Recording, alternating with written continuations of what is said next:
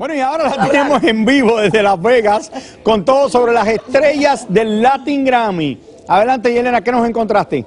Ay, Yelena.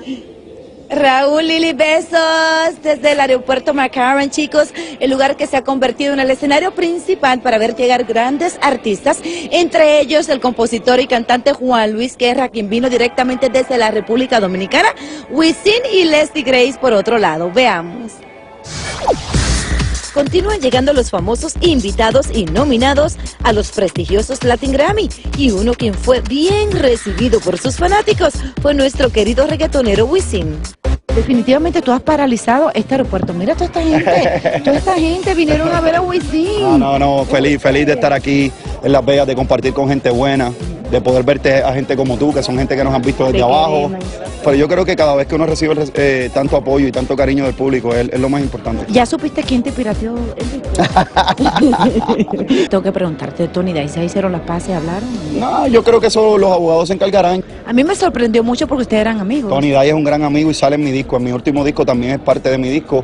Eh, yo creo que a veces suceden cosas que no están en nuestras manos. Los artistas continuaban llegando a las diferentes terminales y de diferentes ciudades. Qué placer es saludarlo. ¿Cómo se siente? Muy bien, muy bien, estamos muy contentos.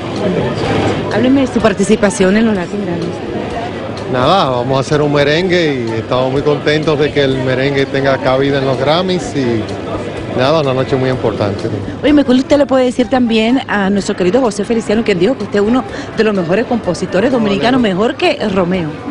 Bueno, yo agradezco mucho todo lo que haya dicho de mí y saber que él es un gran pionero y que también todas esas canciones de él pues nos estimulan y nos ayudaron muchísimo cuando empezamos.